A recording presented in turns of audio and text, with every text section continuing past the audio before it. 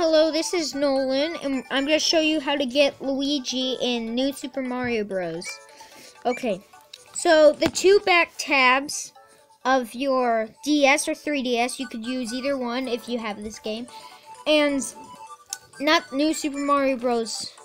2, it has to be the first, and what you gotta do is hold the two left and right backs, and then you well first you gotta press Mario game. Pick any file you want, any file. I'm going to pick file one, and you hold the backs, and then you press A. And when you hear that Luigi, you turn into Luigi. Goodbye, and I'll see you next time.